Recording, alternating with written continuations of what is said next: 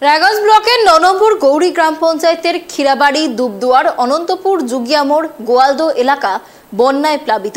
বন্যার জেরে বিচ্ছিন্ন হয়ে পড়েছে যোগাযোগ।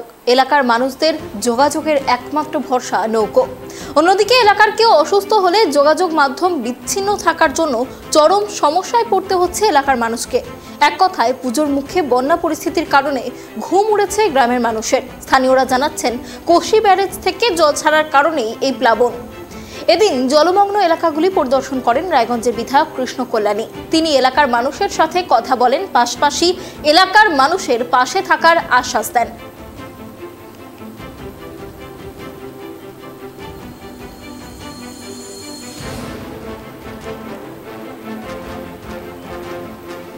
দক্ষিণবঙ্গের বিভিন্ন জেলার মতো এবার বন্যা পরিস্থিতি দেখা যাচ্ছে, উত্তরবঙ্গের বিভিন্ন জেলাতেও। যে ছবি আপনারা দেখতে পাচ্ছেন রায়গঞ্জ ব্লকের ন নম্বর গৌরী গ্রাম পঞ্চায়েতের ক্ষীরাবাড়ি, দুবদুয়ার, অনন্তপুর যুগিয়ামোড় গোয়ালদো বিভিন্ন এলাকার ছবি। এলাকাগুলিতে বন্যা পরিস্থিতি তৈরি হয়েছে। পুজোর মুখে বন্যা পরিস্থিতি যার জেরে এলাকার বাসিন্দাদের রাতের ঘুম উড়ে গিয়েছে। পুজোর মুখে যখন মানুষ নতুন জামা কাপড় কেনাকাটা করছেন, তখন কীভাবে তারা বসবাস করবেন, কি খাবেন, এই ভাবতেই ঘুম উড়েছে গৌরী গ্রাম পঞ্চায়েতের মানুষজনের। এদিন এলাকা পরিদর্শন করেন রায়গঞ্জের বিধায়ক কৃষ্ণ কল্যাণী। তিনি এলাকার মানুষজনের সঙ্গে কথা বলেন, তাদের সমস্যা জানার চেষ্টা করেন এবং সেই সমস্যাগুলি দ্রুত সমাধানের আশ্বাস দিয়েছেন বিধায়ক।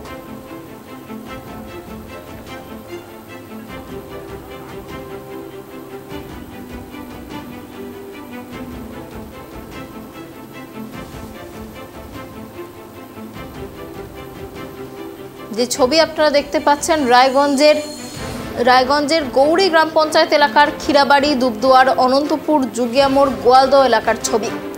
বৃষ্টির জেরে এই বন্যা পরিস্থিতি নয়, কোশি ব্যারেজ থেকে জল ছাড়ার কারণে জলমগ্ন রায়গঞ্জের গৌরী গ্রাম পঞ্চায়েতের এই সমস্ত এলাকা।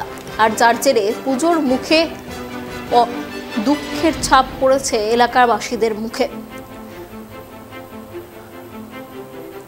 এলাকার মানুষজন, তারা তাদের যোগাযোগ ব্যবস্থা সম্পূর্ণ বিচ্ছিন্ন এবং তারা ঠিক কীভাবে তাদের দিন যাপন করবেন এই পুজোর মুখে সেটা ভেবেই পাচ্ছেন না এলাকার মানুষজন।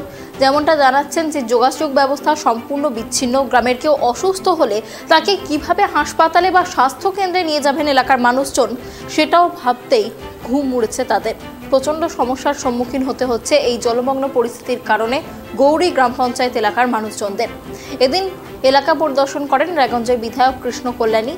তিনি এলাকায় জলমগ্ন এলাকাগুলি পরিদর্শন করেন এবং সেখানে গিয়ে সেখানকার সাধারণ মানুষের সঙ্গে কথা বলেন এবং তাদের সমস্যার সম্পর্কে কথা বলার চেষ্টা করেন। এছাড়াও তাদের যে সমস্ত সমস্যাগুলি রয়েছে, সেই সমস্যা সমাধানের আশ্বাস দেন রায়গঞ্জের বিধায়ক কৃষ্ণ কল্যাণী। বন্যার জেরে যোগাযোগ ব্যবস্থা বিচ্ছিন্ন হয়ে পড়েছে গৌরী গ্রাম পঞ্চায়েত এলাকার বিভিন্ন জলমগ্ন এলাকাগুলিতে এখন সাধারণ মানুষের যোগাযোগের একমাত্র মাধ্যম নৌকো। অন্যদিকে এলাকায় কোনো মানুষজন অসুস্থ হলে যোগাযোগ মাধ্যম বিচ্ছিন্ন থাকার কারণে চরম সমস্যায় পড়তে হচ্ছে এলাকার মানুষকে। এক কথায়, দক্ষিণবঙ্গের বিভিন্ন জেলার মুখে যে বিভিন্ন জেলার মতো উত্তরবঙ্গের এই রায়গঞ্জের গৌরী গ্রাম পঞ্চায়েতও পুজোর মুখে বন্যা পরিস্থিতির শিকার।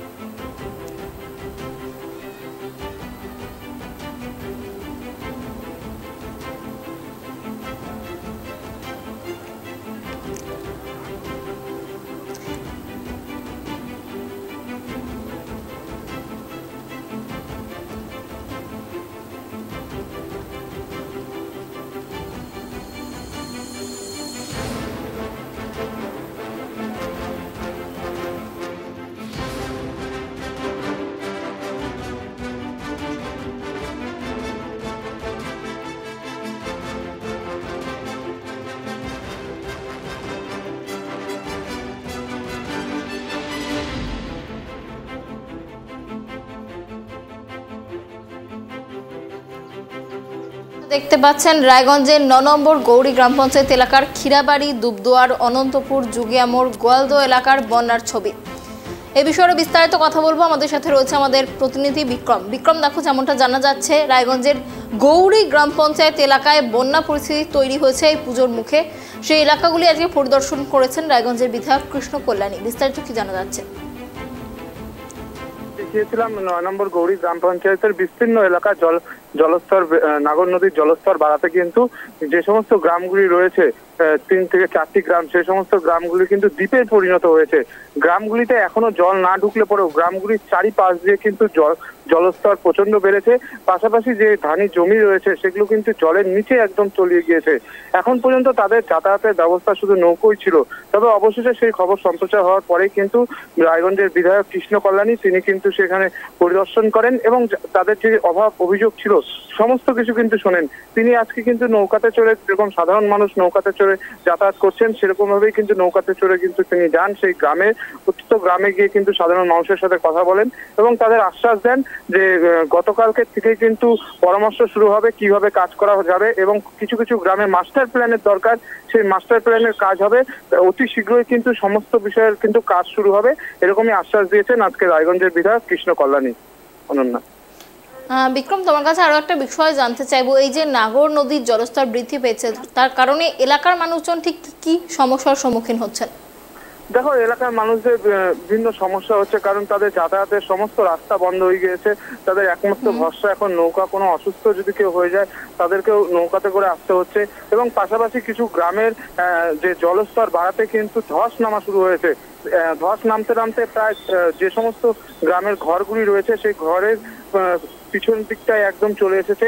আরও যদি তারা গ্রামবাসীরা বলছে, আরেকটু যদি জলস্তর বাড়ে, তাহলে কিন্তু গ্রামের যে সমস্ত বাড়িঘর রয়েছে, প্রায় চার থেকে পাঁচটি বাড়ি কিন্তু জলের নিচে চলে যেতে পারে এবং পাশাপাশি তাদের খাদ্য সামগ্রিকের কিন্তু অসুবিধা হচ্ছে কারণ তাদের যে জীবনযাপন, যে কাজকর্ম সমস্ত কিছু বন্ধ হয়ে গিয়েছে এবং রাতের ঘুমও উড়ে গিয়েছে। কারণ জলস্তর যদি আর একটু বাড়ে তাহলে কিন্তু বাড়িতেও জল ঢোকা শুরু হবে সমস্ত, এই সমস্ত গ্রামে। এবং সেইভাবে থাকে, থেকে কিন্তু প্রশাসনের তরফ থেকে এখনও পর্যন্ত তারা তাদের সাথে কোনো প্রশাসনের আধিকারিকরা কিন্তু দেখা করেননি এবং তাদের অভাব অভিযোগও শোনেনি তবে আজকে কৃষ্ণ কল্যাণী বিধায়ক তিনি যাওয়ার পরে কিন্তু গ্রামবাসীরা আশ্বস্ত হয়েছে এবং তারা বলছেন যে প্রথম বিধায়ক এসে আমাদের সাথে দেখা করলেন, কথা বলল এবং আমাদের সমস্যা তাদের বিধায়কের কাছে আমরা তুলে ধরলাম। তবে তাদের আশ্বাস যে বিধায়ক কৃষ্ণ কল্যাণী তাদের সম্পূর্ণ যে সমস্ত অভাব অভিযোগ আছে, অতি শীঘ্রই সম্পূর্ণ করবে সে সমস্ত অভিযোগ। ধন্যবাদ। অনেক ধন্যবাদ বিক্রম আমাদের সঙ্গে থাকার জন্য। যেমনটা আপনারা শুনলেন যে রায়গঞ্জের গৌরী গ্রাম পঞ্চায়েত এলাকা, সেখানকার মানুষজন এই পুজোর মুখে অত্যন্ত দুর্ভোগের মধ্যে রয়েছেন কারণ কোশি ব্যারেজ থেকে জল ছাড়ার কারণে বন্যা পরিস্থিতি তৈরি হয়েছে রায়গঞ্জের গৌরী গ্রাম পঞ্চায়েতের বিভিন্ন এলাকায়। সেখানকার যোগাযোগ ব্যবস্থা সম্পূর্ণ ভেঙে পড়েছে। একমাত্র নৌকো করে যাতায়াত করতে হচ্ছে সাধারণ মানুষজনকে। আজ এলাকা পরিদর্শন করেন বিধায়ক কৃষ্ণ কল্যাণী এবং তিনি যাতে দ্রুত এই সমস্যার সমাধান করা যায় সেই আশ্বাস দিয়েছেন।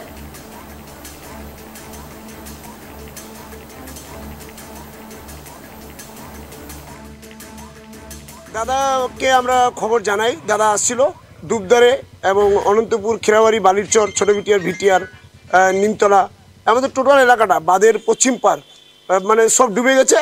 দাদা সব জায়গায় জলে নামে নামে দেখল, বাড়ি পরিদর্শন করল এবং দুবদারে গেছিল। আর এবং আমাদের অনেক দিনকার একটা গোলস্থান, আমাদের কেটে যাচ্ছে অনন্তপুরে, সেটা আশ্বাস দিয়ে গেল।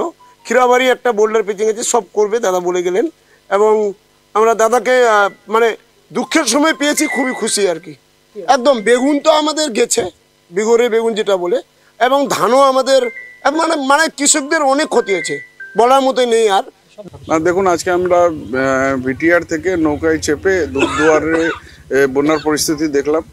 যেখানে দেখা গেল যে যে হিসাবে জল বেড়েছে, আর যে হিসাবে ভাবেন এলাকার জমি ক্ষয় হচ্ছে সেখানে দেখলাম কিছু বাড়ির হ্যাঁ বাথরুম টাথরুম জলের কবলে চলে গিয়েছে হ্যাঁ তো ভাঙন হচ্ছে, তো সেটার জন্য আমরা দেখে গেলাম কালকে সার্ভে করিয়ে নিয়ে হ্যাঁ এই ভাঙন প্রতিরোধের জন্য গার্ডওয়াল, বোল্ডার পিচিং, এগুলোর ব্যবস্থা করতে হবে, কিছু মানুষের বাড়িতেও জল ঢুকে গেছে। সেখানে ত্রিপাল পলিথিনের ব্যবস্থা করতে হবে। এখন আমরা দুবদুয়ার থেকে অনন্তপুরে আসলাম। এখানে একটা কবরস্থান রয়েছে। সেই কবরস্থানে এখন আজকে দেখা যাচ্ছে যে তিরিশ থেকে চল্লিশ ফিট অবধি জল উঠে গিয়েছে। তো আজকে নদী অ্যাকচুয়ালি দুভাগে বিভক্ত হয়ে গেছে। দুবদুয়ারের জলগুলো এই অনন্তপুরের দিকে আসছে হ্যাঁ। তো আগামী দিনে যাতে ওই কবরস্থান এলাকাগুলো যাতে সুরক্ষিত থাকে, তার জন্য একটা আমাদেরকে মাস্টার প্ল্যান তৈরি করতে হবে যে জল নিকাশি ব্যবস্থা, নদীর জলটা ডাইভার্ট করে যাতে অন্য দিক দিয়ে চলে যায় আর কবরস্থান যাতে সুরক্ষিত থাকে। তার জন্য একটা ম্যাপিং করে কাজ করতে হবে। আর এখানেও যেটা দেখছি হ্যাঁ জমি ক্ষয় হচ্ছে, তার জন্য এখানেও বোল্ডার পিচিং আর গার্ডওয়ালের ব্যবস্থা করছে